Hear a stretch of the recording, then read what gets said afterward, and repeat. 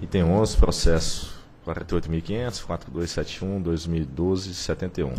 Análise da proposta de plano de transição apresentada pela empresa Equatorial Energia S.A., com vistas à aquisição do controle da concessionária Centrais Elétricas do Pará, CELPA. Diretor relator, Dr. Romeu Donizete Rufino, informo que há pedido de sustentação oral. Em 28 de fevereiro de 2012, a CELPA ajuizou perante a comarca da capital do estado do Pará pedido de recuperação judicial nos termos da Lei 11.101 de 2005. Em 29 de fevereiro de 2012, o pedido de recuperação judicial foi acolhido no âmbito da 13ª Vara Civil de, da Comarca de Belém. Em 27 de junho de 2012, a Equatorial apresentou proposta para aquisição do controle da CELPA. Em 13 de julho de 2012, é, a Equatorial solicitou a apreciação pela ANEL de, um, de uma proposta de plano de transição com vistas à aquisição do controle da concessionária. Nas datas de 10 e 13 de agosto de 2012, foram realizadas reuniões entre a ANEL, CELPA e Equatorial sobre o presente processo. Em 15 de agosto de 2012, foi realizada a reunião entre administrador judicial da CELPA e a ANEL. Em 17 de agosto de 2012, a CELPA interpôs recurso em face da resolução homologatória no 1327, 31 de julho de 2012, que homologou o resultado da sua terceira revisão tarifária periódica. Em 20 de agosto de 2012, foi realizada nova reunião entre a Equatorial e a ANEL. As superintendências relacionadas com os temas integrantes do citado plano de transição manifestaram-se por meio de notas técnicas ao longo do mês de agosto de 2012. É, e em 1 de setembro de 2012, o plano de recuperação judicial da CELPA foi aprovado pela Assembleia Geral de Credores. É o relatório. Sustentação oral será feita pelo Dr. Ronaldo Romero Cardoso, presidente do Sindicato dos Urbanitários do Pará.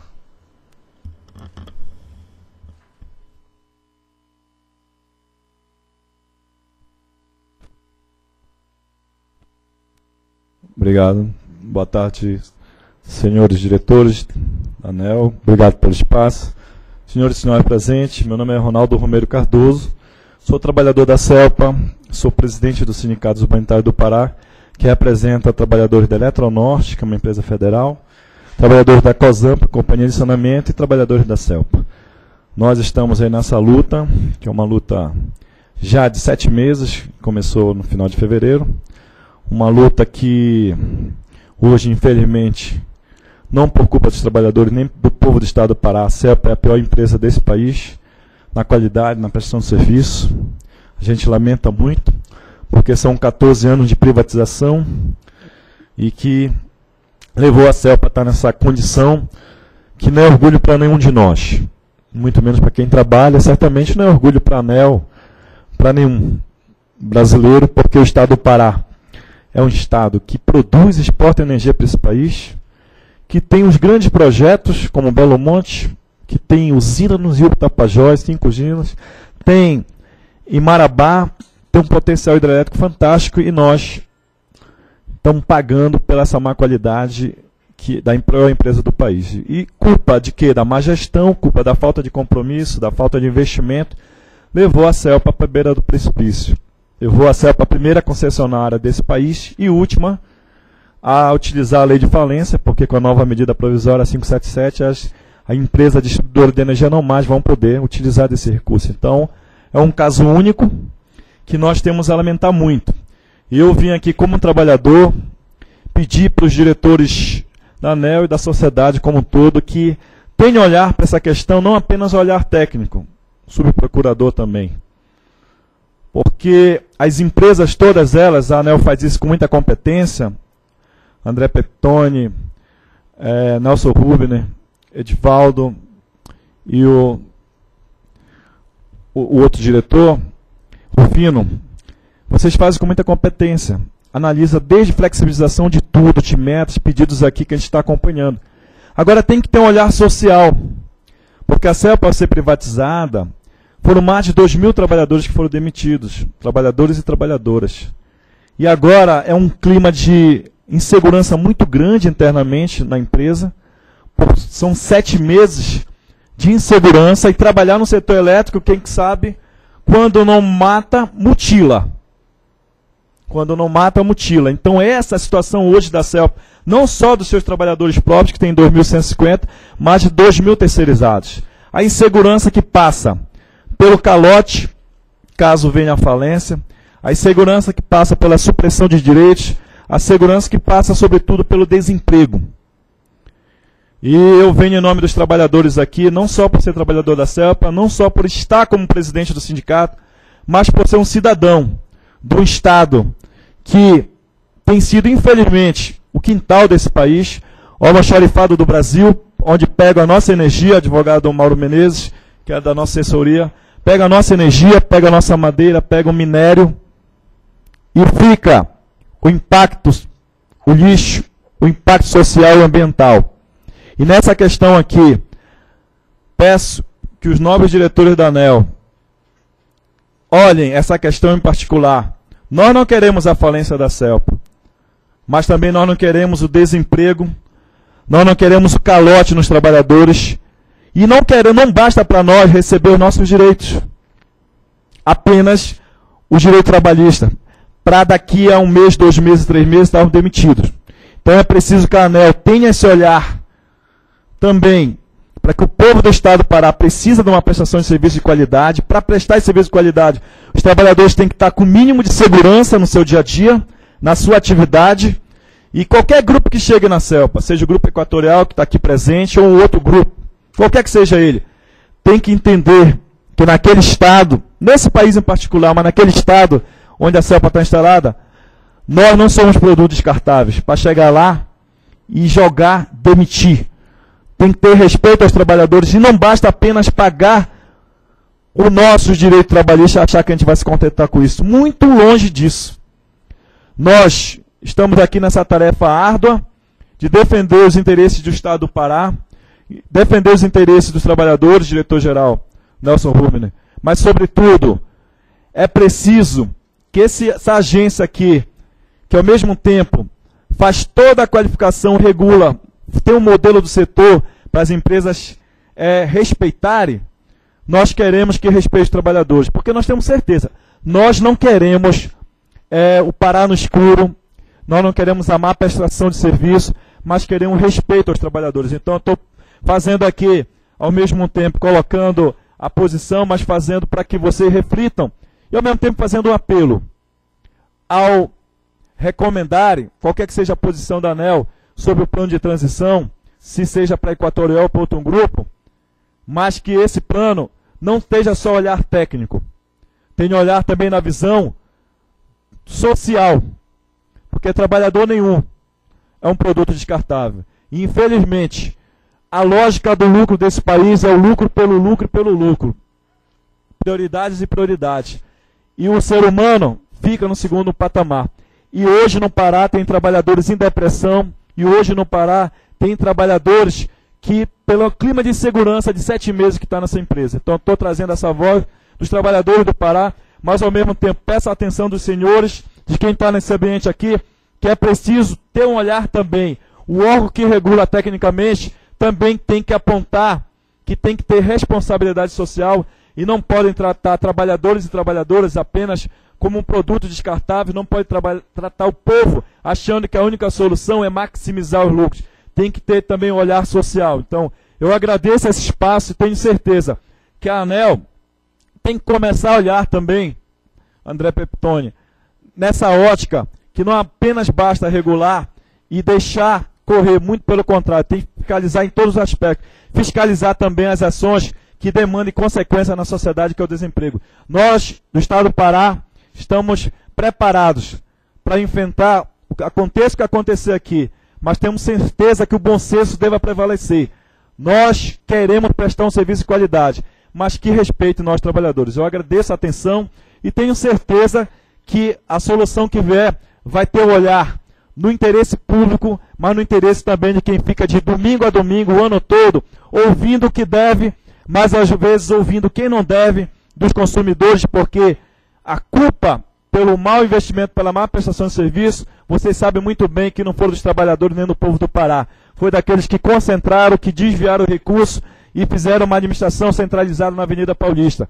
Nós não temos culpa e o outro grupo que vier também tem que entender que no Pará existem homens e mulheres que estão dispostos a lutar, estão dispostos a construir uma empresa que possa prestar um bom serviço, mas tem que ser respeitados. E eu agradeço a atenção de todos e tenho certeza que a solução aqui vai pensar no interesse público, no interesse da sociedade e no interesse dos trabalhadores também. Obrigado. Obrigado. Procuradoria. Procuradoria opina pela presunção de juridicidade da decisão a ser proferida pela diretoria. Bem, antes de iniciar aqui o, o meu voto, é importante é, é, frisar que, de fato, no caso da CELPA, não estamos diante de uma condição normal. É uma situação realmente excepcional. É uma empresa que está na fase de recuperação judicial, com grandes dificuldades para retomar a sua vida normal, a normalidade da concessão, inclusive com a qualidade do serviço muito afetada por esse desempenho econômico-financeiro tem tido nos últimos tempos. Portanto, estamos num contexto de fato, como foi dito pelo representante do sindicato, de é, ser proativo na solução, na construção de uma solução que garanta a continuidade da prestação de serviço, que é o que interessa em última análise. Então, verifica-se que, ao longo do tempo, a situação econômico-financeira da CELPA vem se degradando significativamente. Sua situação atual é crítica e culminou no processo de recuperação judicial da empresa, a qual tem por objetivo, nos termos da Lei 1101 de 2005, viabilizar a superação da situação de crise econômico-financeira do devedor, a fim de permitir a manutenção da fonte produtora, do emprego e dos trabalhadores e dos emprego dos trabalhadores e dos interesses dos credores, promovendo assim a preservação da empresa numa sua função social e estímulo à atividade econômica. Tal situação pode acarretar, em último, em último caso, a declaração de sua falência, podendo gerar graves consequências para a concessão. Na verdade, é, na hipótese de decretar falência, a concessão, inclusive, é extinta. Verifica-se no presente contexto a existência de proposta para aquisição da CELPA, do controle societário da CELPA, apresentada pela Equatorial essa empresa considera que, dada a situação crítica da distribuidora, a concretização do processo de transferência está vinculada à obtenção de sucesso. Um, na construção de acordo satisfatório com os credores do processo de recuperação judicial, que já foi feito, né, foi aprovado no dia 1 de setembro em assembleia com os credores o plano, na negociação junto à Eletrobras, com eventual conversão de suas dívidas em participação societária, na negociação das ações com os controladores da CELPA e na reavaliação e flexibilização, ainda que em caráter temporário, de requisitos regulatórios. Com relação a esse último ponto, a Equatorial apresentou à ANEL sua proposta de plano de transição relacionado a diversas questões a serem observadas durante um período de transição que no caso até o quarto quarta revisão tarifária da distribuidora, prevista para 2015. Então, o chamado plano de transição compreende o período de, da sua aprovação ou da sua implementação até a quarta revisão tarifária 2015, e que são, na visão da empresa, essenciais para a criação das condições necessárias para a recuperação da concessão. Dessa forma, passo a analisar a seguir cada uma das propostas apresentadas pela Equatorial. Cabe destacar que o plano de recuperação judicial aprovado considera como premissa a aprovação pela ANEL do processo do presente plano de transição, estabelece ainda como condição precedente sua aprovação em termos satisfatórios para o investidor. Ressalto também que a análise a seguir se dá observando o caráter de excepcionalidade da situação pela qual passa a CELPA e que a eventual aplicação dos pontos passíveis de serem acatados durante o citado período de transição deverá se dar no âmbito do plano de recuperação judicial aprovado, sendo aplicável a qualquer interessado que assuma o controle da distribuidora. Ou seja, ainda que estamos analisando uma solicitação da Equatorial, o que aqui estamos aprovando pode ser adotado por qualquer um entrante lá na, na, no controle societário da CELPA. O primeiro pleito formulado é com relação aos limites de DECFEC. A Equatorial indicou a necessidade de se promover uma nova configuração para os conjuntos de unidades consumidoras da CELPA, de se rever os limites dos indicadores coletivos de continuidade DEC e FEC estabelecidos para a distribuidora.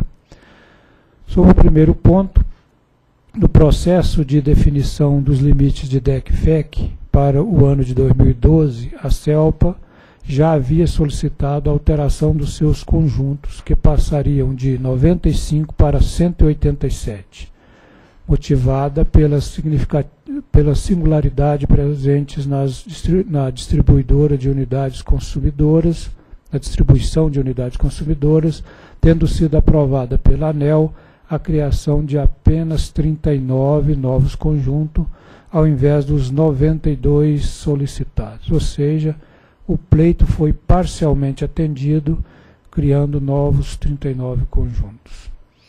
Em suma, em sua proposta, a Equatorial reapresentou o pleito da CELPA, requerendo principalmente a separação dos conjuntos de unidades consumidoras entre áreas urbana e não urbana e destacando que aproximadamente metade do montante compensado por transgressão dos limites de FIC e DEMIC em 2011 foi concentrada em conjuntos atípicos da CELPA. A análise da Superintendência de Regulação de Serviços de Distribuição demonstrou que a heterogeneidade dos conjuntos da CELPA apresenta comportamento parecido com os demais conjuntos do país, sendo que o percentual de seus conjuntos classificados como homogêneos, no caso 82,8%, é superior ao percentual dos conjuntos homogêneos do Brasil como um todo, no caso 79,5%. Assim, essa particularidade alegada para a CELPA não se verifica. Dessa forma, conforme já havia sido avaliado pela SRD, não cabe o pleito de revisão dos conjuntos da CELPA por sua tipicidade. Além disso, a proposta de, eh, segregação dos conjuntos em área urbana e área não urbana não deve ser acatada, haja vista que esse aspecto, que já havia sido apreciado anteriormente pela SRD, caminha em direção contrária ao que preconiza o regulamento estabelecido que é de aproximação do padrão de qualidade. Com relação ao pleito de reavaliação dos limites de DECFEC estabelecidos para a CELPA até o ano de 2015, a proposta apresentada é para que esse, esses sejam elevados até os patamares apurados pela distribuidora atualmente, que gira em torno de 100 horas para o DEC e 53 interrupções para o FEC. A Equatorial entende que os limites de qualidade exigidos da CELPA não condizem com a realidade das áreas situadas fora dos grandes centros urbanos e que a diferença dos limites frente ao apurado os tornam inatingíveis no curto prazo, fazendo com que as compensações devidas continuem drenando recursos da concessão. Conforme destacou a SRD, é importante salientar que a afirmação de que a qualidade prestada pela distribuidora está drenando os recursos em forma de compensação, por se encontrar distante dos limites estabelecidos pela agência, não pode ser empregado como justificativa para que os limites sejam revistos, uma vez que os valores compensados são meramente uma consequência da degradação da qualidade do atendimento. A solicitação da Equatorial nessa questão se fundamentou principalmente em dois pontos. O primeiro é a de que a comparação da ANEL, ao tomar os limites estabelecidos para o restante dos conjuntos do Sistema Interligado Nacional, como parâmetro para os conjuntos da CELPA, também pertencentes ao Sistema Interligado Nacional, demonstra a não adequação dos limites de DEC e FEC aprovados em 2012 à realidade da concessão.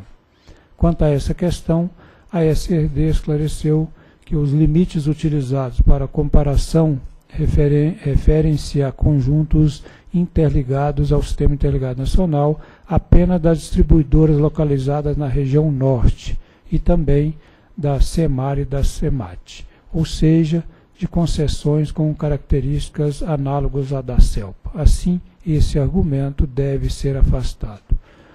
Outro ponto é que a, a confiabilidade dos dados relativos aos, aos ativos e aos indicadores de qualidade é maior após 2007, quando houve certificação dessas atividades, sendo esse provavelmente o motivo para a evolução dos indicadores DEC e FEC apurados pela CELPA. Isso o que alegou a empresa. Sobre esse tema, a SRD ponderou que, apesar de dado a, a, apesar dos dados das distribuidoras passarem a realizar a certificação a partir dessa data, verifica-se que nenhuma delas apresentou uma degradação dos indicadores de DEC-FEC apurados tão abrupta quanto a CELPA. Ademais, quando um problema desse tipo é corrigido, espera-se um degrau inicial dos valores apurados e, posteriormente, uma acomodação nesses valores, o que não ocorreu no caso da CELPA. Haja vista que os valores dos indicadores apurados continuaram aumentando significativamente. Assim, de forma aderente à análise realizada pela SRD, quanto ao estabelecimento dos atuais indicadores de DEC-FEC, verifica-se que os elementos novamente apresentados não são suficientes para apontar que os limites de continuidade estabelecidos para a CELPA não estão aderentes às características da distribuidora.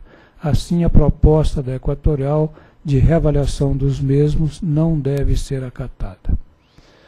Com relação a penalidades e compensações eh, regulatórias. A Equatorial apontou que para uma concessão como a CELPA não é sustentável o atual nível de compensações pela violação dos indicadores individuais de qualidade e pela transgressão dos níveis de tensão, que tais compensações chegaram a cerca de 97 milhões de reais em 2011. Apesar de reconhecer que parcela dessa situação é, deve ser atribuída a problemas financeiros e de gestão, a empresa entende que parte deve-se ao estabelecimento de limites regulatórios não compatíveis com a atual realidade, com a atual realidade da CELPA. Nesse contexto, propõe que as penalizações e compensações devidas aos consumidores por violação aos indicadores de qualidade e por transgressão de nível de tensão registradas no período de transição sejam convertidas em investimentos adicionais equivalentes na concessão, sendo que tal ação poderia estar lastreada em um TAC firmado entre o novo controlador, a ANEL e o Ministério Público do Pará. Para justificar essa proposta, a empresa ponderou que, mesmo que fosse quitada toda a dívida da distribuidora, uma série de perdas, multas e compensações continuariam a ocorrer por um longo período, drenando o recurso da concessão, impossibilitando a, a prestação do serviço adequado, mantendo assim a concessão em um círculo vicioso e destrutivo. Conforme a análise da SRD, tendo em vista a situação de degradação contínua da qualidade do serviço prestado pela CELPA, em especial em termos da continuidade verificada pelos elevados valores de DEC e FEC, principalmente o DEC, apurados, faz sentido que os recursos que seriam repassados aos consumidores sejam revestidos em investimentos que visem sanar os problemas enfrentados por esses mesmos consumidores.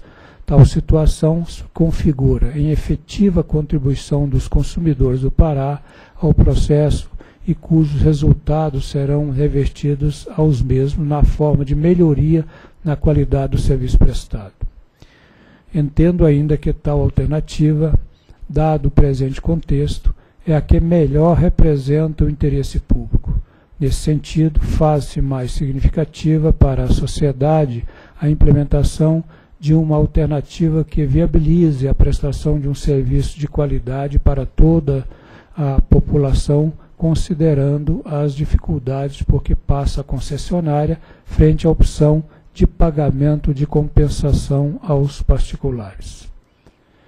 A alternativa também está aderente com a premissa que obrigou as distribuidoras a efetuar a compensação financeira caso não atendessem aos requisitos regulatórios, a qual tem como principal motivação incentivar as distribuidoras a oferecerem um serviço de qualidade. Nesse sentido, tem-se que o interesse do consumidor verifica-se de forma mais apropriada pela prestação de um serviço de qualidade e não com o pagamento da compensação exatamente pela ausência dessa qualidade. Assim, considerando que tal proposta mostra-se razoável no contexto por que passa a concessionária, deve-se eh, ser avaliada a forma como essa, esses recursos seriam contabilizados. A, a, solicitação da Equatorial foi para que tais investimentos fossem contabilizados como ativos a serem remunerados e não como obrigações especiais, que é a forma usual de tratamento determinada pela ANEL em situações análogas. Embora entenda que o pleito da Equatorial não deva ser atendido no formato solicitado, percebo que uma alternativa intermediária seria uh, o mecanismo mais adequado para incentivar a melhoria dos índices de qualidade de forma mais intensa. Aqui eu abro um parênteses só para explicar melhor essa questão da figura das obrigações especiais. É que quando a concessionária faz o investimento é, na, no interesse da concessão, cuja origem, a fonte dos recursos, sejam o que eu poderia chamar de recurso não oneroso, ou seja, participação da União, do Estado, do consumidor, esses recursos, como não são onerosos, não são aportados pelo acionista nem de empréstimo e financiamento, a regra atual estabelece que esses recursos não sejam remunerados e nem a depreciação dos correspondentes ativos construídos com esses recursos sejam a depreciação é considerada na tarifa. E, portanto, é um recurso que não impacta a tarifa. É como se fosse um investimento gratuito para concessão. Ele é da concessão e não da concessionária.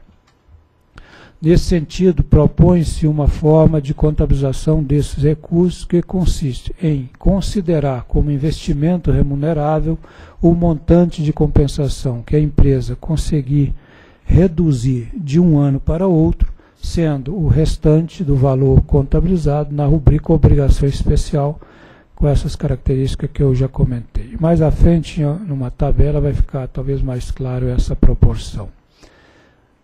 Para ilustrar essa sistemática, a SRD realizou uma projeção de é, evolução dos indicadores do ECFEC apurados pela CELPA, considerando sua redução na mesma proporção do que foi verificado na CEMAR, quando a mesma foi assumida pela Equatorial. E num processo que tem alguma semelhança com esse da CELPA, a CEMAR já foi transferido o controle do controlador de então para a Equatorial e lá ela já experimentou uma trajetória de redução é, na melhoria dos índices de qualidade similar ao que estamos propondo aqui.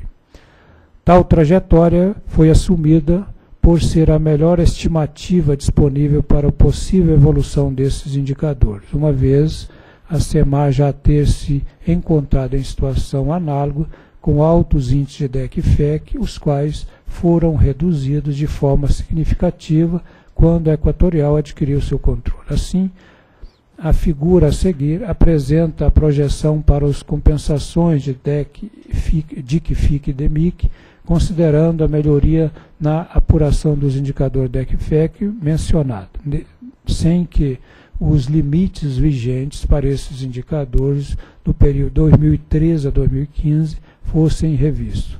Ressalta-se que os valores para 2010 e 2011 foram os efetivamente apurados pela CELPA. Então aí mostra que 2010, 2011, o nível de compensação, no caso de DIC, FIC e DEMIC, não está aqui a parte de nível de tensão né, verificado, 2012, que parte verificado e outra parte projetado, e o que se espera nessas barras, que seria a tal trajetória que nós imaginamos que a CELPA pode alcançar, porque ela é similar ao que foi conseguido lá na, no caso da SEMAR. É uma experiência já vivida né, pela Equatorial, no caso da gestão da SEMAR, que se espera que ela possa repeti-la no caso da, da CELPA. Nessa simulação, a CELPA compensaria o montante de 88,9 milhões de reais em 2012, passando para 79,3 em 2013. No caso de, desse cenário, né, dela conseguir reduzir desses 88, confirmando os 88 em 2012 e reduzindo para 79 em 2013, então no caso desse cenário se verificar a diferença entre os valores compensados no período de 2012 para 2013, no caso de 9,5 milhões de reais, seria contabilizada como investimento remuneráveis. Ou seja, esse não seria lançado como obrigações especiais. E o valor restante, no caso 79, que é exatamente o, o 79 menos 69 dá o 69 aí, né, que ficaria na rubrica obrigações especiais. A tabela a seguir apresenta a projeção do montante a ser compensado no período de transição e a respectiva forma de contabilização de contabilizar esses recursos. Então a tabela mostra o seguinte, de um ano para outro, né, 2013, qual que seria o valor, a trajetória que se espera que a concessionária alcança, né, que tem lá na, naquela tabelinha, partindo de 79 em 2013 e chegando a 39 em 2015, que é o período de transição. É, isso comparando com o, o, anterior, com o ano anterior, dá o que seria lançado como investimento remunerável, a primeira linha aí dessa tabela. E como obrigações especiais iria a diferença entre os dois para totalizar o valor que seria objeto de compensação de DICFIC. Em contraponto, propõe-se que, caso haja piora dos indicadores de qualidade, o que se admite aqui como tese só, os valores que excederem o montante de compensações do ano anterior deverá ser investido em dobro e contabilizado como obrigações especiais. Ou seja, aqui é para ser simétrico a questão. Se ela reduzir o, o índice que atualmente está sendo apurado, significa que ela está entregando uma qualidade melhor para o consumidor. No que ela reduz esse índice, ela pode jogar como investimento e esse investimento seria remunerado. Agora, em compensação, se de um ano para outro, em qualquer um ano do período, se ela piorar esse desempenho, ela vai ter que contabilizar em dobro como obrigação especial para ser novamente simétrico. Para os valores de compensação por violação dos limites dos indicadores de tensão em regime permanente, DRP e DRC, propõe-se a mesma sistemática, ou seja, caso a distribuidora consiga diminuir a compensação de um ano para outro, esse valor será contabilizado como investimento remunerável e o restante como obrigação especial. Considerando seu alcance e natureza, a presente proposta, na forma apresentada nessa análise, deverá ser submetida à audiência pública visando sua efetiva implementação. Esse certamente é o item de maior impacto, talvez o mais relevante nesse plano de transição.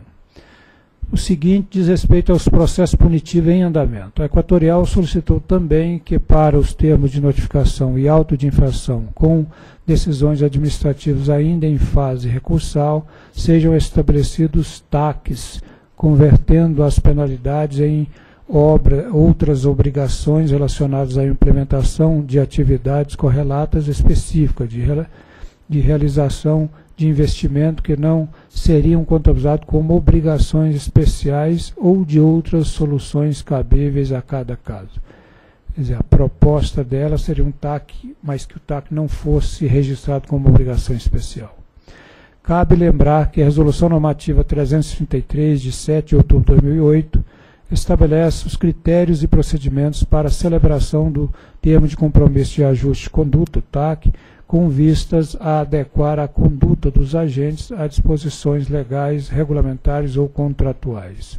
Assim, a celebração dos TACs poderá ser realizada nos termos dessa resolução, observando os critérios de elegibilidade que possibilitam a celebração do TAC e a necessidade de contabilização dos investimentos como obrigações especiais.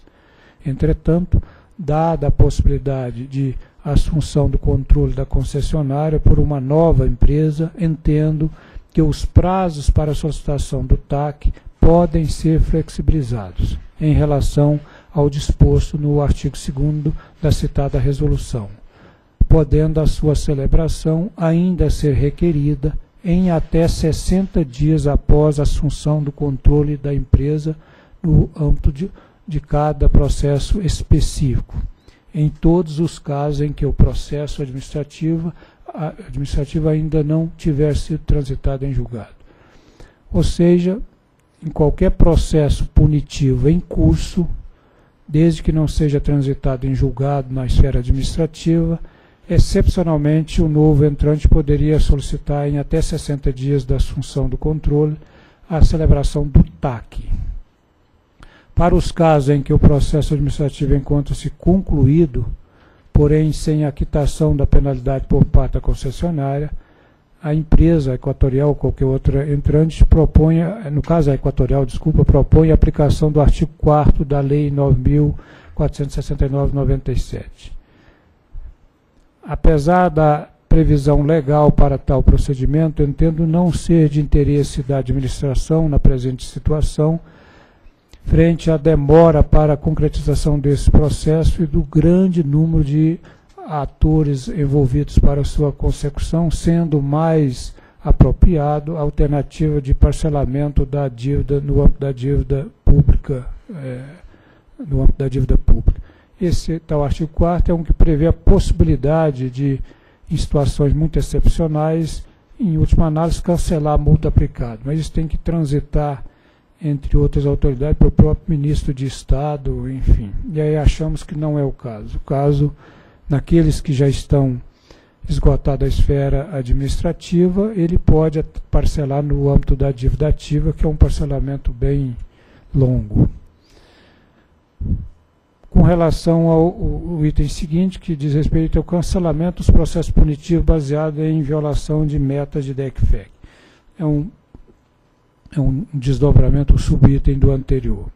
A Equatorial destacou que atualmente não se aplica penalidade por violação dos metas de qualidade é, de conjuntos de consumidores da ECFEC, que, portanto, estando a concessionária em dia com os pagamentos das compensações por descumprimento das metas individuais, a concessionária nada mais deve por descumprimento de metas de qualidade. Nesse contexto, a empresa entende que, diante da superveniência de regra mais benéfica sobre o Prodist, que na prática eliminou a penalização por descumprimento de metas de DECFEC, deve-se aplicar o princípio da retroação da regra mais benéfica para o fim de se cancelarem as multas impostas à CELPA no passado por descumprimento de metas de DEC-FEC. Esse é o pleito formulado pela empresa. Entretanto, a ANEL não pode simplesmente é, anistiar as penalidades já impostas administrativamente, pois tais recursos são públicos, sendo destinados para a conta de desenvolvimento econômico, Energético, né, CDE, assim não há possibilidade de acatar tal solicitação. Essa solicitação não prospera. Com relação ao saldo não aplicado de PID e eficiência energética, a proposta apresentada contempla o requerimento para que, em relação ao valor ainda não aplicado em PID e eficiência energética, seja concedido o prazo de um ano para apresentação de novos projetos e que sua aplicação possa ser realizada de forma que o limite do saldo máximo dessa conta, conforme disposto no artigo 8 da Resolução Normativa 316, de 13 de maio de 2008, possa ser alcançado apenas ao final do período de transição. Agora já temos um novo manual aprovado recentemente. Em sua análise, a Superintendência de Pesquisa, Desenvolvimento e Eficiência Energética concluiu que, dada a situação excepcional por qual passa a distribuidora, considera razoável o pleito apresentado, com exceção do prazo de um ano para apresentação do plano de investimento. Assim, concordo com a posição da SPE, indicando que a apresentação dos planos de investimentos deve ser realizada em até 180 dias após a assunção do controle da CELPA pelo novo acionista e que a utilização dos recursos da conta associada aos programas de PID e eficiência energética sejam re, re, seja realizada de forma que o limite máximo de seu saldo possa ser verificado apenas ao final do período de transição. Outro tópico importante é com relação às perdas regulatórias. Equatorial sugeriu uma nova trajetória de perdas não técnicas que considera como ponto de partida do terceiro ciclo as perdas não técnicas atuais sobre o mercado de baixa tensão. O atuais aqui é quando ela apresentou o plano, que naquela ocasião, segundo apurado, era de 50,62% e como ponto de chegada percentual de 44,62. Quer dizer, aqui uma trajetória entre o período, no período tarifário entre o terceiro e o quarto ciclo. O fundamento de sua argumentação é a piora expressiva das condições socioeconômicas da área de concessão da CELPA. A diferença entre o valor regulatório e o real do valor das perdas não técnicas gera significativo déficit com a compra de energia, conforme apresentado no quadro abaixo. Aí o quadro mostra essa diferença, quer dizer, na verdade, entre a perda regulatória reconhecida e a efetiva, tem-se um déficit, sangra recurso da concessão dessa grandeza que está aí na última coluna. No período 2007, 8, 8, 9, 9, 10, 10, 11 e 11, 12. É um valor muito significativo. Conforme a análise da SRE, as condições socioeconômicas na área de concessão da CELPA pioraram em diversos aspectos desde o estabelecimento da meta do segundo ciclo, em especial os indicadores de violência. No entanto, essa piora não ocorreu na mesma proporção do aumento das perdas, de forma a justificar os pontos de partida e chegada sugeridos.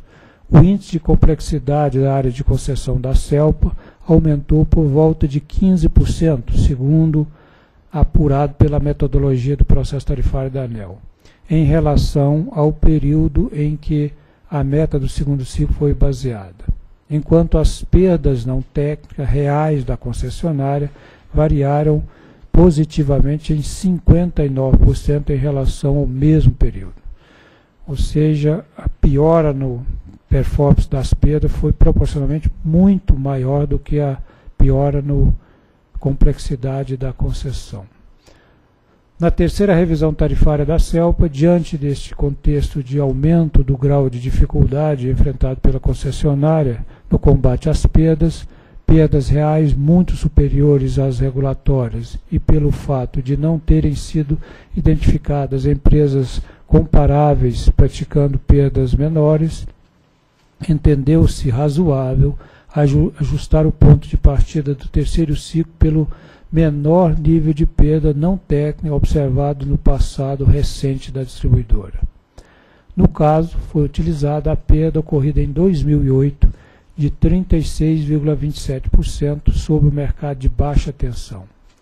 um aumento de 4,45 pontos percentuais em relação à meta do segundo ciclo e que se este, eh, entendeu compatível com o maior desafio que se afigurou na área de concessão da CELPA.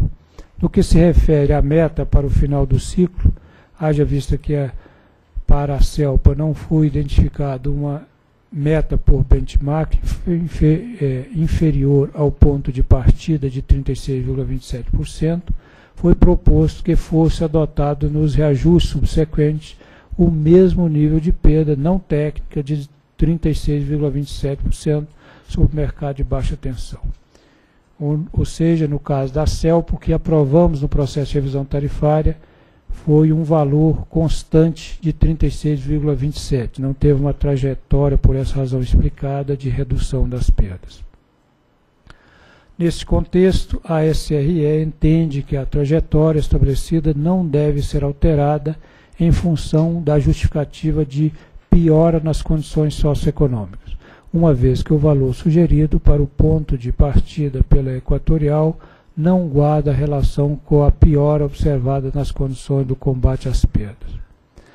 A área técnica pondera, por outro lado, que, dada a necessidade de se garantir a viabilidade da concessão, a diretoria da ANEL pode considerar oportuno uma flexibilização adicional na trajetória de perda definida na terceira revisão tarifária da CELPA, com vista a dar as condições necessárias à implementação de um plano efetivo de redução das perdas, bem como uma continuidade da, pre da prestação de serviço de distribuição de energia elétrica. Uma alternativa, nesse sentido, seria adotar como ponto de partida a média histórica observada no segundo ciclo, ao invés do mínimo histórico observado em 2008. A média, então, seria de 41,55, que é a média verificada entre o, entre o segundo e o terceiro ciclo, ao invés do mínimo que foi, como já dito, de 36,27, representando um aumento nesse limite né, de ponto de partida de 5,58 pontos percentuais em relação ao percentual aprovado na terceira revisão tarifária, mantendo-se como ponto de chegada o percentual de 36,27. Tal alteração teria um impacto positivo no reposicionamento tarifário de 1,35%, contra um impacto positivo de 4,3%, caso fosse acatado o percentual solicitado pela Equatorial. Destaca-se que o ponto de partida de 41,55% está próximo do patamar de perdas praticado antes dos aumentos observados em 2011 e 2012, quando, quando a perda aumentou de 43,82% para 53,84% refletindo o agravamento da situação financeira da concessionária. Financeira e de gestão de um modo geral. Ao concordar que o valor de 41,55% mostra-se razoável, pertinente para ser utilizado como ponto de partida, considerando a presente situação, entendo também que tal ajuste deve, ser como, deve ter como contrapartida uma melhora do nível de perda ao final do período de transição em relação ao originalmente previsto. Para tanto, o ponto de chegada deveria ser reduzido para o patamar de 34%, sendo a transição entre esses dois valores realizada de forma gradual, conforme apresentado na figura a seguir de forma a ilustrar as consequências dessa alteração na trajetória das perdas não técnica, essa figura extrapola o comportamento dessa, dessa variável até o final do quarto ciclo, demonstrando que, apesar de um limite maior no início do período de transição, o consumidor passará a conviver com um nível menor de perda já no final do atual ciclo tarifário e que se estenderá ao longo dos próximos ciclos. Essa extrapolação que se fez aqui para o para além do quarto revisão tarifária, além de 2015, na verdade é só para fins de demonstrar ou de de simular qual seria o impacto da continuidade dessa trajetória de perda para além dessa, dessa, do quarto ciclo de revisão tarifária. Então, como está é, mostrado aí no gráfico, essa linha azul é o cenário base, ou seja, o que hoje está valendo para o terceiro ciclo de revisão tarifária até 2015, e de 2015 para frente aqui simulou uma, um decréscimo, como a metodologia atual prevê, de dois pontos percentuais por ano. Né? Então é isso que se simulou tanto no cenário base, que é o que está valendo atual, como o cenário proposto, que é a linha em vermelho. Na ilustração anterior, considerou-se que, para o quarto ciclo de revisão tarifária periódica, será adotado o maior valor previsto de redução de perdas a cada ano, igual a 2%, tanto para o cenário base como para o da presente proposta. Dessa forma, estimou-se o impacto para os consumidores, apresentado na tabela a seguir, onde se percebe que, apesar de acarretar um aumento tarifário no terceiro ciclo, esse é compensado pela redução do ciclo seguinte, de forma que o impacto para o consumidor ao longo dos dois ciclos é praticamente nulo. Aí é de 0,03%, porque num primeiro momento há uma, um efeito positivo no sentido de aumentar a tarifa e depois esse efeito é, reveste para uma situação negativa e o líquido disso dá o efeito médio de 0,03%, praticamente nulo. Assim, em síntese, minha proposta é a de ajustar a trajetória de perdas não técnicas, tendo como ponto de partida o valor de 41,54%, o qual seria gradualmente reduzido até o valor de 34% ao final do período. Entretanto, entendo que tal assunto deve ser deliberado no âmbito do recurso interposto pela CELPA em face do resultado do processo de sua revisão tarifária, que inclui a presente matéria.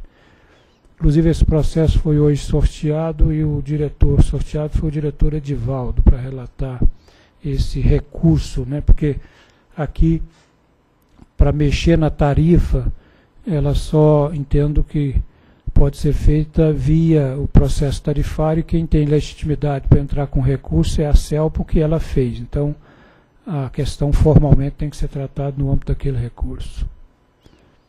Com relação à universalização, a Equatorial solicitou que ao novo controlador seja garantida a oportunidade de reapresentar o, ao regulador o plano de universalização em até seis meses após a assunção do controle, tendo se em vista que o prazo regulamentar para a apresentação do plano encerra-se, na verdade já encerrou em agosto de 2012, quando muitos fatores relevantes para a concessão ainda estarão em discussão.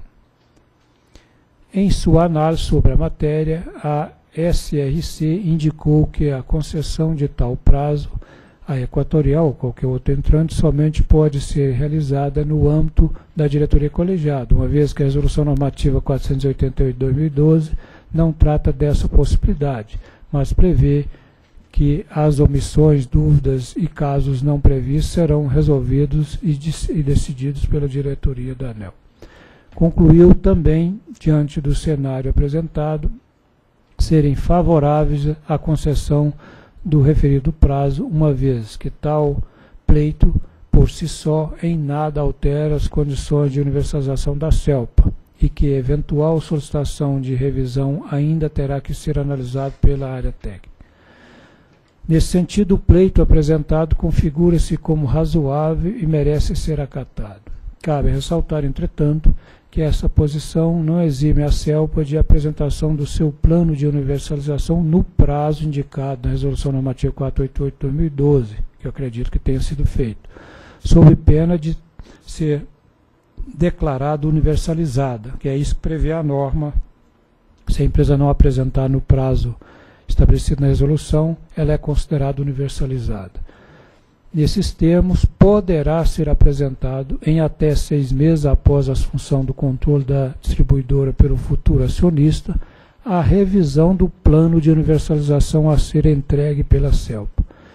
Ou seja, ela, ela entrega o plano nos prazos normais à CELPA e depois o futuro controlador pode solicitar uma revisão desse plano.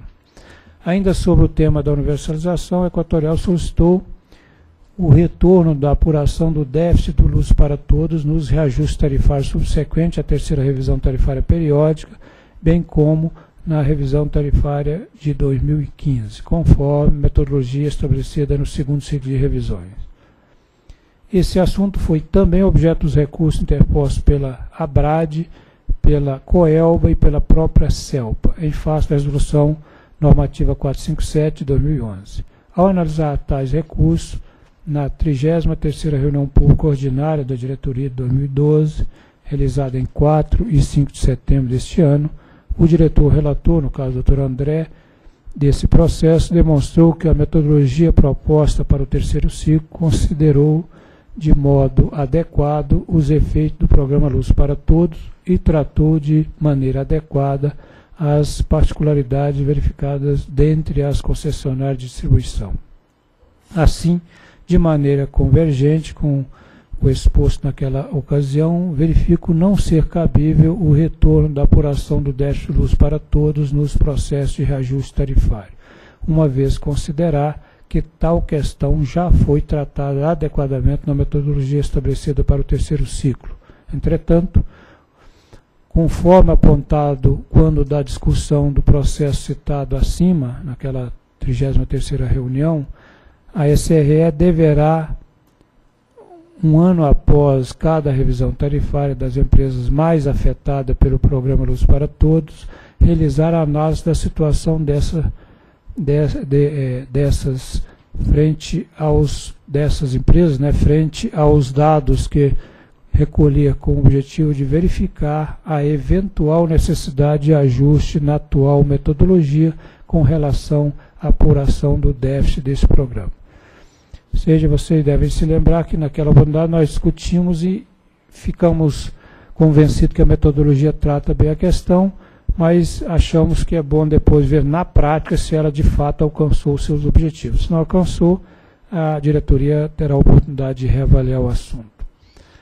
Base de remuneração, a Equatorial informou que durante a implantação do Manual de Controle Patrimonial do setor elétrico, procedeu-se ao inventário de todos os ativos da CELPA, identificando sobras físicas anteriores à sua primeira revisão tarifária no valor de aproximados 500, 959 milhões de reais de VNR e 250 milhões de saldo não amortizado, ou seja, base líquida.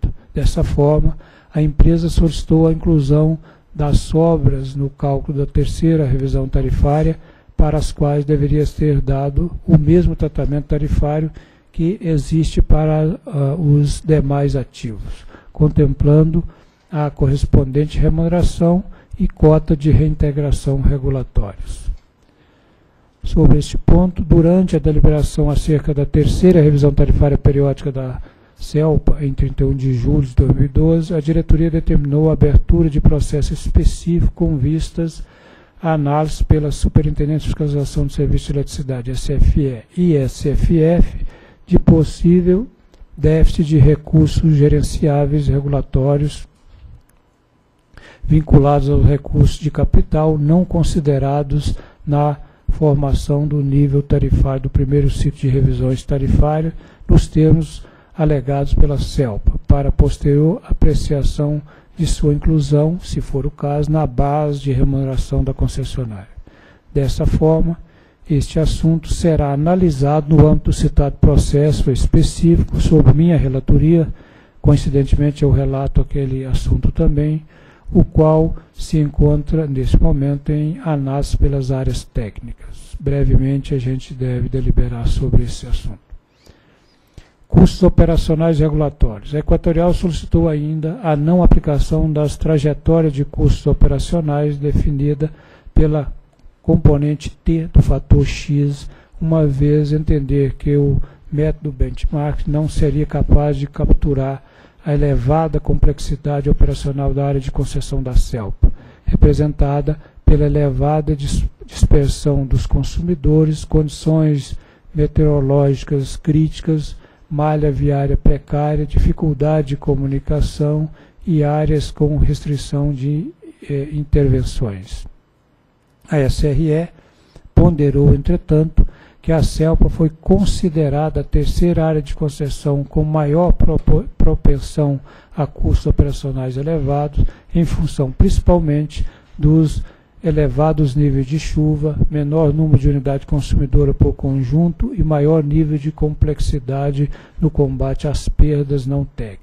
Dessa forma, entende que as particularidades apontadas já foram tratadas na discussão da metodologia dos custos operacionais é, regulatórios, não havendo espaço para revisão dos valores aprovados para a revisão da CELPA. Cabe ressaltar que a proposta apresentada pela Equatorial é claramente metodológica.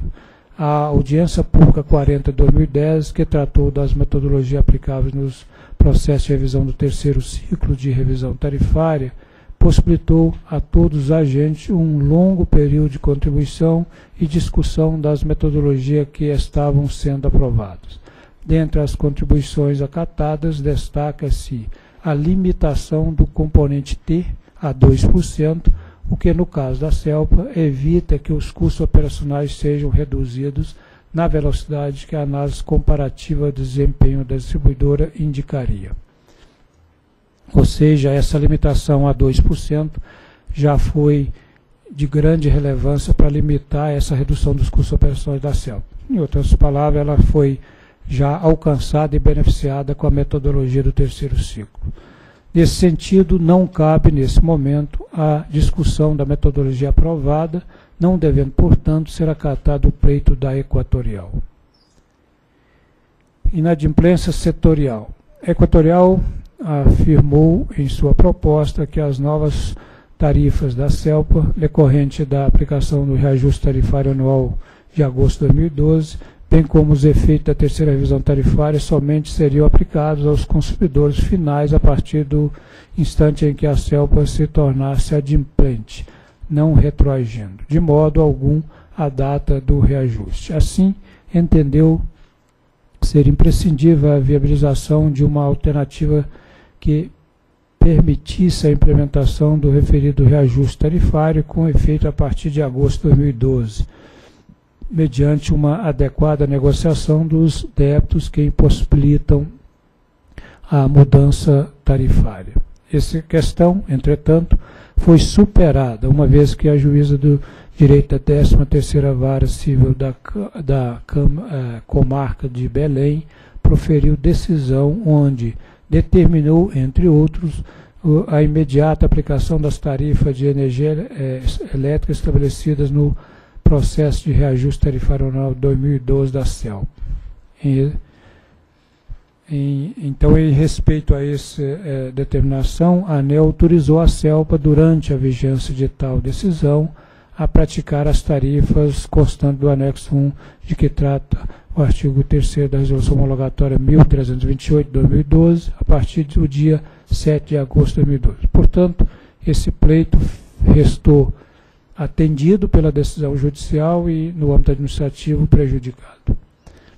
Remuneração por ativos de terceiros, como ela chamou esse tópico. A Equatorial entende ser fundamental que seja estabelecida uma remuneração para os serviços relacionados com os ativos totalmente depreciados e os decorrentes de obrigações especiais que eu já expliquei ao longo do voto, como aqueles associados ao programa Luz para Todos, considerando os custos referentes à operação desses ativos sem remuneração regulatória, bem como os riscos não contemplados no custo de capital regulatório. Assim, propõe a definição do valor adicional pela gestão de ativos sem remuneração, que ele já denominou aqui de gás.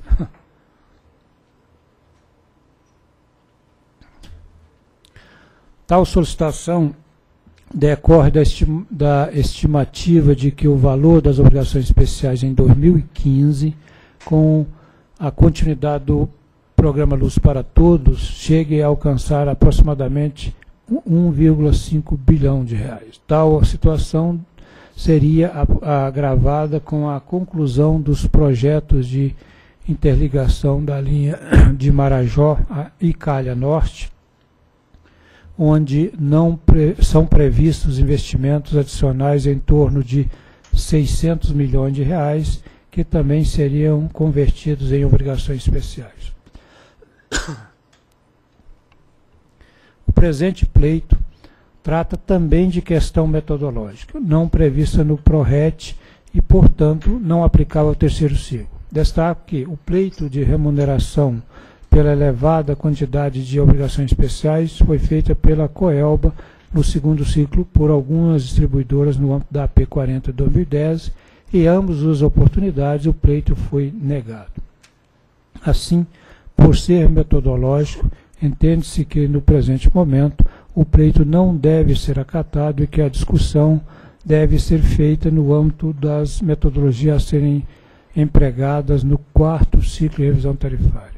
Entendo eu que tem sentido o pleito, eu acho que no âmbito da, do, da, da metodologia para o quarto ciclo de revisão tarifária, ele deve ser novamente enfrentado, mas não cabe, nesse momento, é, atender o pleito.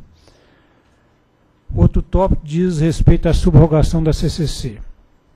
O primeiro desdobramento, o subtópico, seria a garantia de 100% de subrogação para interligação dos sistemas vinculados ao projeto Calha Norte. A Equatorial solicitou que fosse concedido o percentual de 100% de subrogação para interligação do sistema vinculado ao projeto Calha Norte, considerando ser particularmente crítica a necessidade de investimento para interligação das áreas localizadas na margem esquerda do Amazonas. Ela pleiteou 100%, porque atualmente o limite máximo é 75%. Entretanto, a Superintendência de Regulação de Serviços de Geração informou que, ao regulamentar a Lei 2111-2009, a qual dispõe sobre o serviço de energia elétrica nos sistemas isolados, o decreto 7.246-2010 estabeleceu que o montante a ser subrogado deve ser limitado a, no máximo, 75% do investimento do projeto básico aprovado pela ANEL. Dessa forma, a ANEL é, reviu seus atos em conformidade com esse comando. Porque anteriormente o, a disciplina da ANEL permitia chegar a 100%, mas esse decreto limitou a 75%. Assim, apesar de tal proposta aparentar ser meritória, não há como ANEL acatar o pleito apresentado, na medida em que a matéria escapa à sua competência. O outro, ainda dentro desse grupo, é o uso da CDE para quitação antecipada dos financiamentos. A Equatorial ponderou que, se por um lado a CELPA não pode abrir mão do uso do mecanismo de subrogação da CCC, pois há clara necessidade de substituir a geração térmica isolada por outro, a, o, financiamento por meio da RGE para execução das obras associadas implica na elevação do nível de alavancagem da concessionária, o que pode impedir a contratação de novos financiamentos, sendo tal fato particularmente crítico para a CELP, pois as necessidades de investimento futuros são vultuosas. Nesse sentido, a Equatorial propõe a seguinte alternativa contábil para controlar essa situação. Contornar essa situação. Passo 1. Um, seria a obtenção de autorização da ANEL para a subrogação da CCC. Isso é normal. Passo 2, captação de recursos da RGR pela concessionária para efetivação da interligação. Também, até então, é uma situação possível. O passo 3, uso de recursos da CTE para quitação imediata dessa captação junto à RGR e conversão do investimento associado em obrigações especiais. Esse aqui é que, esse passo 3 é que teria dificuldades. Passo 4, uso dos recursos oriundos da subrogação da CC para reposição dos recursos da CDE. De acordo com a proposta, os recursos captados para, para projetos de interligação dos sistemas isolados seriam contabilizados diretamente em obrigações especiais reduzindo-se o nível de alavancagem e abrindo espaço para a aplicação do volume de investimento na ampliação do volume de investimento da concessão.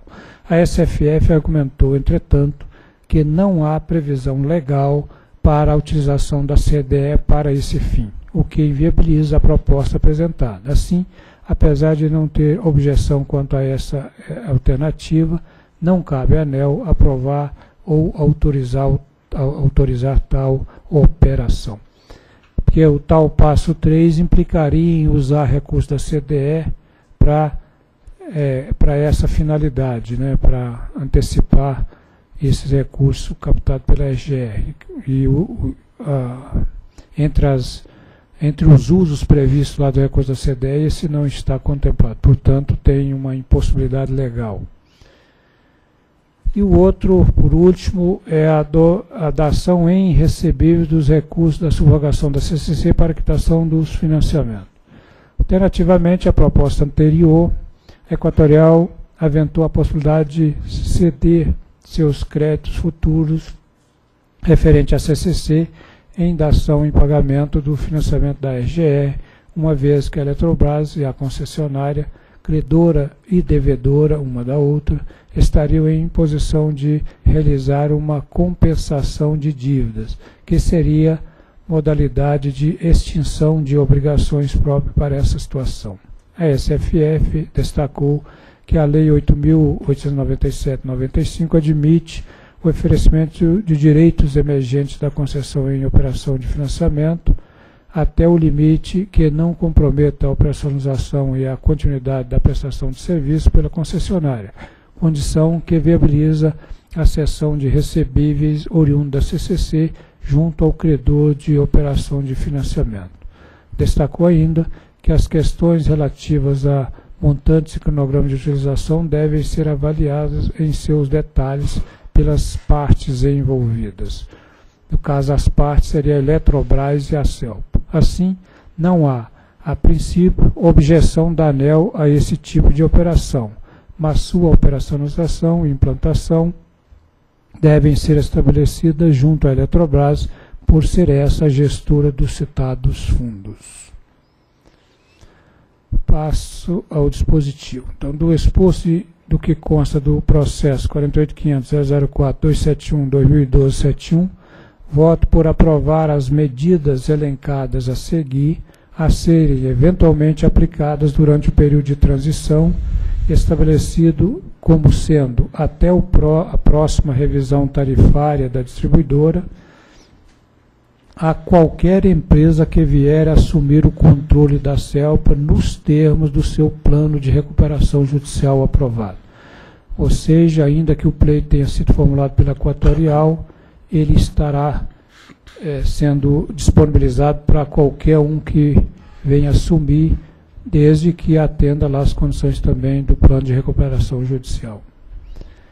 Então, o que estaria sendo autorizado é a submeter a proposta de utilização dos recursos de futuras compensações por violação de limite de qualidade, de nível de tensão, para realização de investimento na área de concessão, na forma da metodologia descrita neste voto, a processo de audiência pública a ser realizada no período de 20 de setembro a 22 de outubro de 2012, disponibilizando, entre outros documentos, a nota técnica número 130-2012 SRD ANEL, a SRD, a qual apresenta a fundamentação para a presente proposta.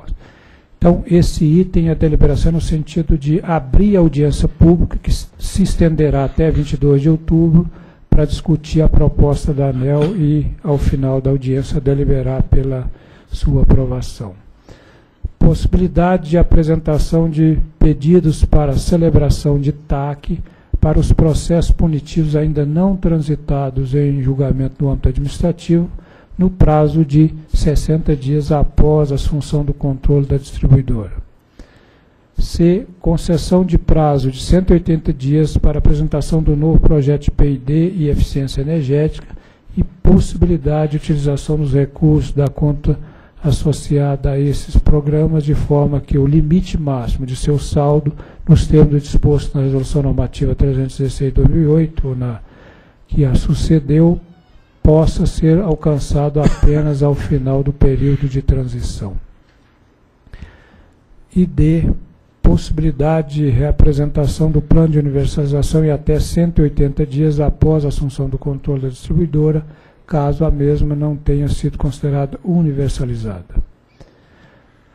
Além desses pontos, as questões apresentadas a seguir deverão ser analisadas em processos específicos. Nova trajetória de perda não técnica, cuja proposta apresentada nos termos deste voto deverá ser deliberada no âmbito do recurso interposto pela CELPA e fasto resultado do processo de sua revisão tarifária. Esse é o processo que eu me referi ainda há pouco e hoje foi sorteado o doutor Edivaldo para relatá-lo.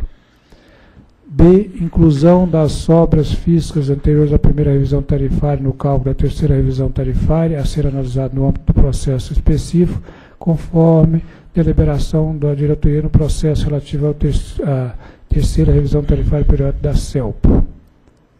É também o processo da base de remuneração, que eu relato e também vou é, encaminhar com, com, com urgência. Remuneração por ativo de terceiro proposta a ser analisada quando a definição das metodologias a serem empregadas no quarto ciclo de revisão tarifária. E o terceiro bloco é não devem ser acatadas os seguintes pleitos. Revisão dos limites da ECFEC, o pleito não deve ser acatado. Aplicação do artigo 4 da Lei 9.469-97 para os processos administrativos que encontram concluídos, porém sem a quitação da penalidade por parte das concessionárias. Isso também não deve ser acatado não deve também ser acatado o cancelamento das multas impostas à CELPA por descumprimento de transgressão dos limites de DEC e FEC. Não aplicação da trajetória de custos operacionais definida pela componente T do fator X, ou seja, o pleito de não aplicar não deve ser acatado, retorno da apuração do déficit luz para todos nos reajustes tarifários subsequentes à terceira revisão tarifária, bem como na revisão prevista para 2015. Isso aqui, como dito, será verificado depois da revisão se a metodologia de fato neutralizou. Garantia de 100% da subrogação para a interligação do sistema vinculado ao projeto Calha Norte, também pelas razões que já comentei, isso não é da competência da ANEL. E, por último, o uso de CDE para quitação antecipada dos financiamentos da EGER também não pode ser acolhida, porque isso não tem previsão legal. O requerimento associado à da ação em recebível dos recursos da subrogação da CCC para quitação do financiamento da EGR devem ser remetidos pelo interessado para a Eletrobras, gera, é, gestora dos fundos é, é, citados. O pleito relativo à viabilização de alternativa para implementação do reajuste tarifário da distribuidora encontra-se superado em face da decisão da juíza de direito da 13ª Vara Civil da Camarca de Belém, que proferiu decisão onde se determinou a imediata aplicação das tarifas de energia elétrica estabelecidas no processo de reajuste tarifário anual 2012. Portanto, isso está superado. Finalmente, determino que a SRE realize, um ano após cada revisão tarifária das empresas mais afetadas pelo Programa Luz para Todos, a análise da situação dessas distribuidoras com o objetivo de verificar a eventual necessidade de ajuste na atual metodologia com relação à apuração do déficit desse programa e submeta suas conclusões à apreciação da diretoria. Eu incluí esse tópico aqui porque acabou que não ficou na deliberação daquele caso essa orientação para a área. É, é o meu pro, minha proposta de voto. Que discussão? Eu, eu tenho assim, algumas observações. Primeiro, falar sobre o esforço do Romeu, equipe da SRD, assessores, etc., para construir esse voto. Eu acho que está tá de, de muito bom tamanho. Eu começo para dar um exemplo, o caso da item 34, aquele gráfico que mostra situação. não vou falar sobre tudo, apenas sobre dois aspectos, que é o, principal foco, que são as, o DEC, FEC, a qualidade do serviço e as perdas. É, aliás, o, o diagnóstico está tá muito claro que a, a, Equatorial que apresentou a proposta, tá, a vê que está tá muito, tá muito bem por dentro do que acontece com a empresa, então que o diagnóstico está muito bem feito. Diagnóstico esse, que os próprios, não sei se os controladores atuais também o, o tinham, mas infelizmente não, não, não, não, conseguiram resolver o problema já uns 4, 5 anos atrás, de qualidade do serviço e perda. Qualidade do serviço que drena dinheiro via ressarcimento, drena caixa, dinheiro vivo da empresa e a, a perda porque a ANEL repassa para a tarifa um percentual menor de perda do que aquilo que a empresa acaba pagando para os seus supridores, ou seja, também drena dinheiro do caixa. Esse gráfico lá do item 34, aí eu acho a maneira muito inteligente que foi bolada de dar um incentivo para que a empresa melhore um dos seus grandes problemas, que é o, o, a qualidade do serviço. Por exemplo, aqui o DEC apurado em 2011, que é a linha vermelha, está é, escrito em 99, 100 horas para arredondar. Para dar uma ideia do que, é que significa, esse, esse número, a média Brasil em 2011 era 17 horas, e nós temos, eu olhei aqui rapidamente no site da ANEL, pelo menos duas distribuidoras do Sul, pequenas, que o DEC, uma delas, de 2012, é 1,20 horas e já foi 0,25 horas, ou seja, 15 minutos. Tem algumas distribuidoras que a gente pode medir o DEC em minutos. Isso aqui é 100 horas, transformar em minutos, ver o que dá. Você tem diversos tipos de distribuidora no Brasil, mas a média 17 horas. Portanto, 100 horas é muita coisa.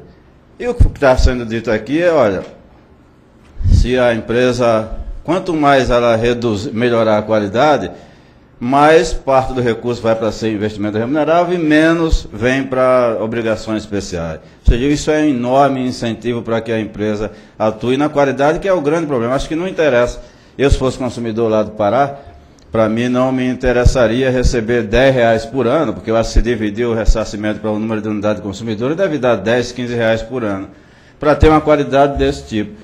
Eu preferiria da maneira que está sendo proposta aqui para melhorar a qualidade. Seria muito melhor para mim o que o novo controlador lá se esforce para reduzir, por exemplo, para 25 horas no, no período que se tem aí para fazer tudo isso. Nós estamos dando até 2014, né?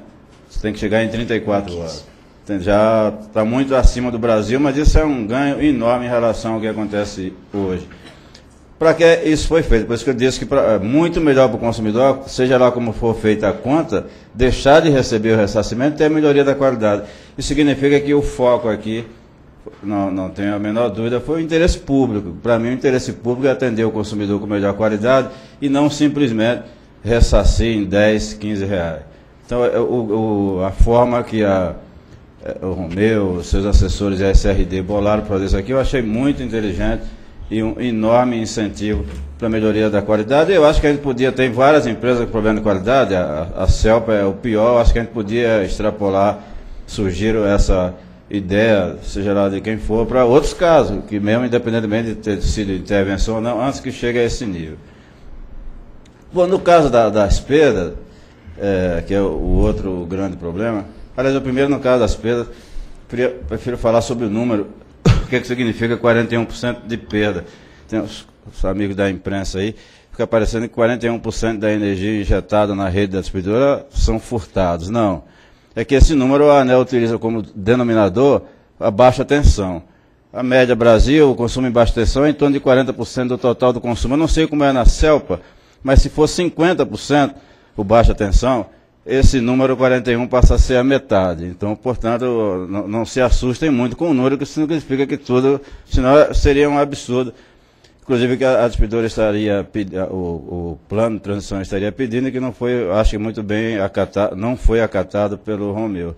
É, se esse 41%, esse 41% para mim aí eu acho que foi o grande erro de, de diagnóstico e de estratégia dos atuais controladores fossem tudo do baixa tensão, significava, se lá fosse 50%, significa que 80% das unidades consumidoras de baixa tensão estariam furtando. Isso é impossível. Entendeu? Aí o problema do Pará já não seria mais de furto de energia, seria mais de saúde pública. Aí já era um cleptomaníaco. E não existe isso no Pará. A nobre população do Pará não é assim. Portanto, existe furto na alta tensão. E não só, não tem só que estar tá desenvolvendo equipamento para pegar furto no baixo tensão, porque é impossível. Qualquer, eu não sou, nunca trabalhei em distribuidora, mas é fácil diagnosticar isso aqui. Portanto, eu acho que, é, é, primeiro, o número para olhar, não é, esse número não é, significa que todo mundo furta, e se fosse tudo em baixa tensão, o problema lá já era de saúde pública e não era ANEL, era outro órgão que estaria cuidando disso. Como eu não acredito, tenho certeza, não, não é, não é nem não acredito, como eu tenho certeza que não é isso, então eu acho que o, para partir do diagnóstico para a estratégia de solução, eu acho que a coisa pode ser facilitada. De qualquer forma, eu acho que está, tá, não vou falar sobre os outros aspectos econômico-financeiros, acho que está de muito bom tamanho o voto, tá, tá, acho que, a, embora você não tenha dado muita ênfase, mas pode ser que a gente tenha sido criticado por ter cedido aqui e ali, mas acho que no que cedeu, eu acho que o foco do que nós estamos fazendo aqui é o interesse público. Eu acho que isso é que é o mais importante para a solução do problema lá da distribuidora do Pará. Bom, eu primeiro cumprimento o Ronaldo Cardoso, presidente do Sindicato dos Urbanitários do Pará, pela sustentação oral que proferiu. O Ronaldo, pessoa no qual tive oportunidade, nas duas vezes que tive no estado do Pará, em conversar. Primeiro, quando presidi a audiência pública do processo tarifário, dia 14 de junho passado.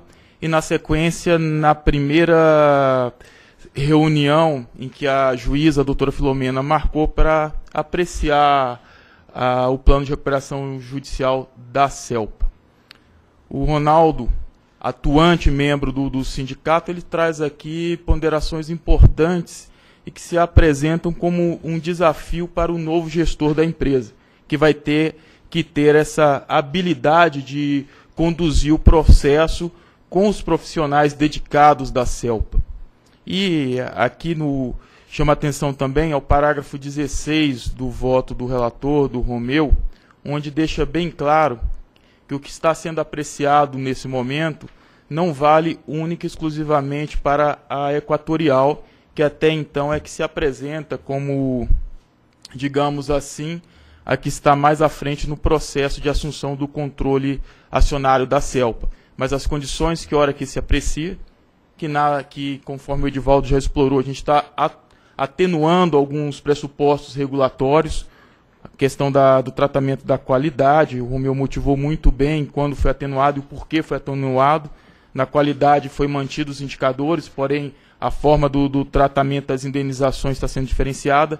A questão das perdas eu vou explorar já já, estamos atenuando, atenuando e o que está por trás de tudo isso é o, o interesse público e que essas atenuações no período que estamos chamando de período de transição, que vai ter vigência durante todo o terceiro ciclo tarifário, ele vale para qualquer empresa que assuma o controle societário da CELPA.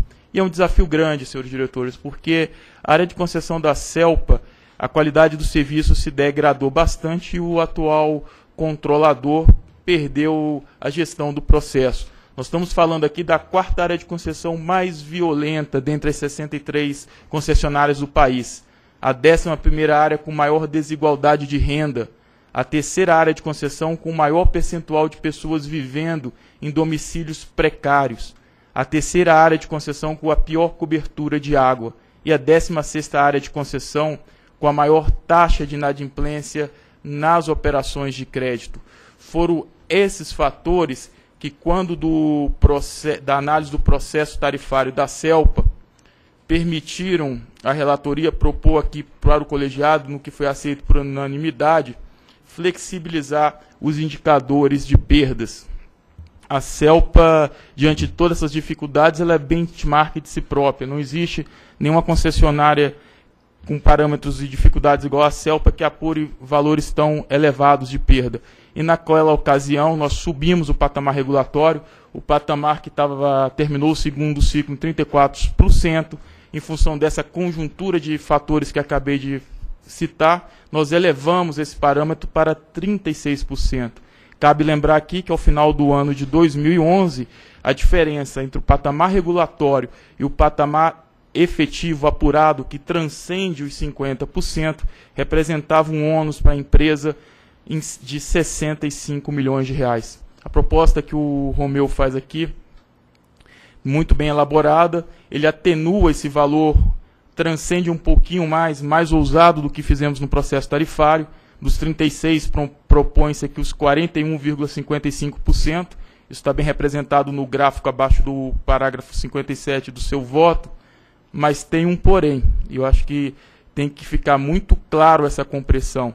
Nós estamos, o que, é que a ANEL está fazendo nesse plano de transição? Nós temos, estamos, de fato, atenuando o parâmetro de, de perdas no terceiro ciclo, mas em compensação, tem uma contrapartida, nós estamos tornando mais exíguo o valor das perdas no quarto ciclo tarifário. O que cabe comentar que devemos fazer um encontro de contas. O fato de atenuar as perdas, passados 36 para iniciando agosto de 2011 até agosto de 2013 em 41%, e depois a, a, ocorre um decréscimo, eles, isso vai onerar o consumidor do Pará no terceiro ciclo tarifário entre 2011 e 2014 0,63% de sua tarifa. O consumidor do Pará vai pagar 0,63% a mais do que deveria pagar. Porém, em compensação, no quarto ciclo tarifário, ele irá pagar a menos 0,58%, o quarto ciclo tarifário que começa em 2015 e finaliza em 2018 de tal sorte que o que nos dá solidez em apreciar de forma favorável essa proposta é que, se fazendo uma compensação, o efeito praticamente é nulo. Ou seja, no, se fizermos uma análise no curto prazo, podemos dizer que o consumidor está sendo onerado em 0,63%.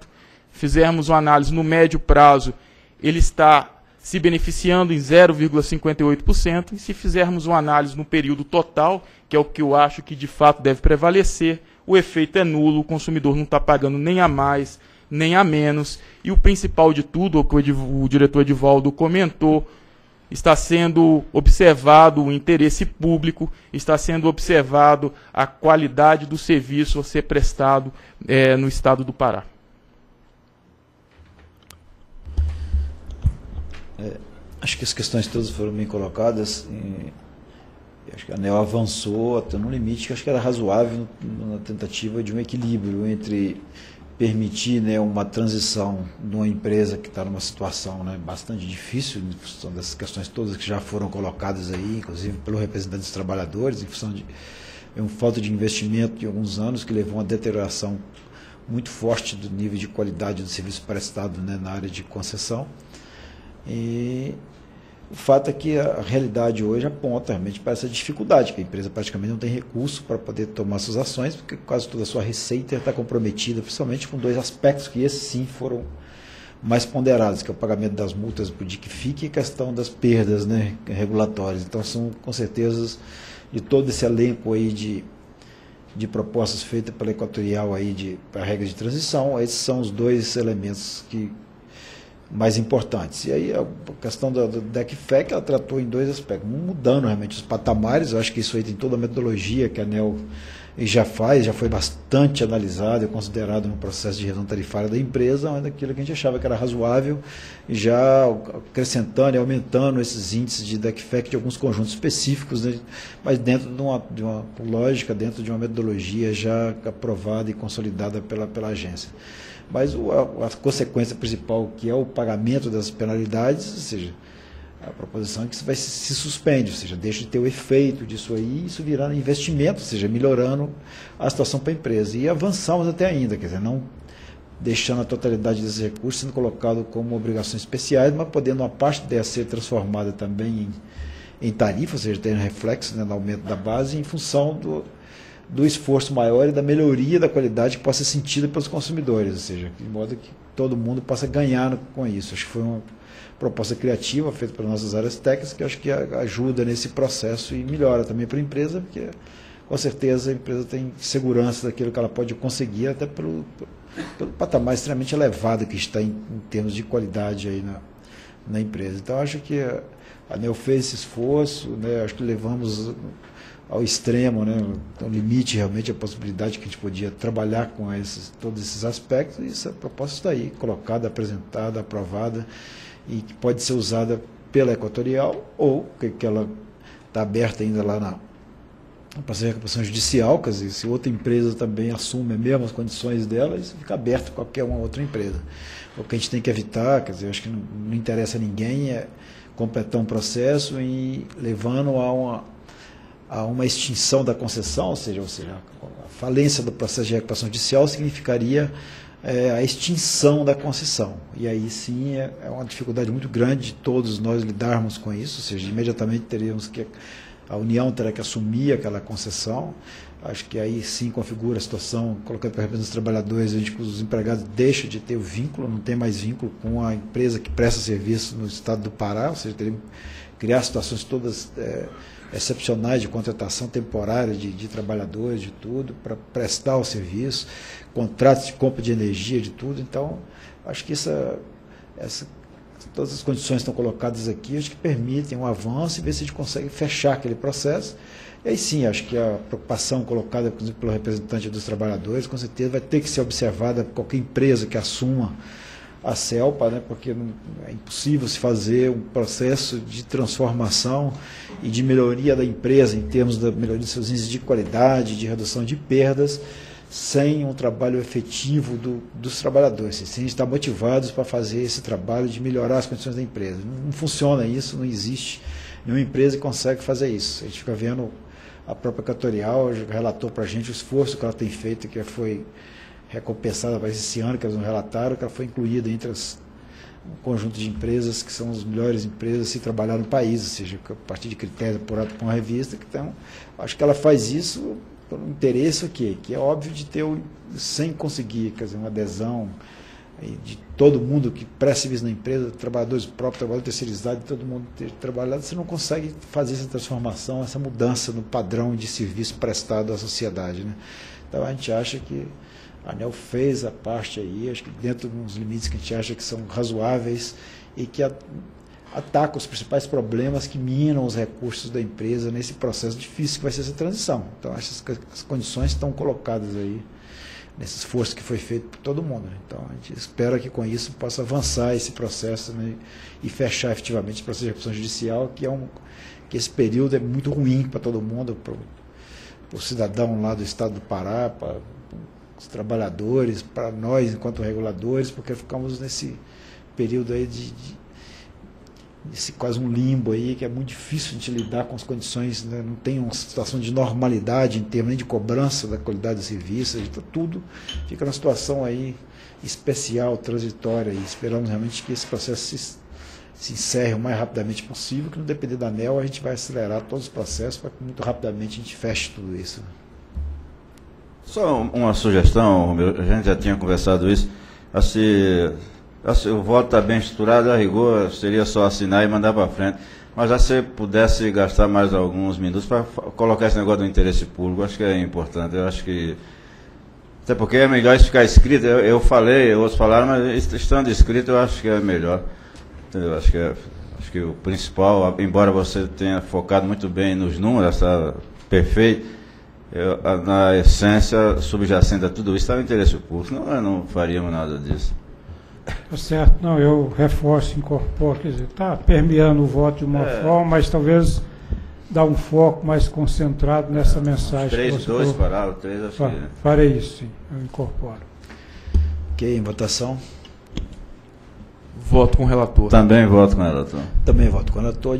Dito decidiu por aprovar as medidas elencadas a seguir a serem eventualmente aplicados durante o período de transição estabelecido como sendo até a próxima revisão tarifária da distribuidora, no caso a CELPA, né, a qualquer empresa que vier assumir o controle da mesma nos termos do seu plano de recuperação judicial aprovado. E conforme então já elencado e lido aí todos os itens aí daquilo que foi aprovado, aquilo que não foi então aprovado e incorporado no plano de transição, conforme já lido aí pelo nosso relator.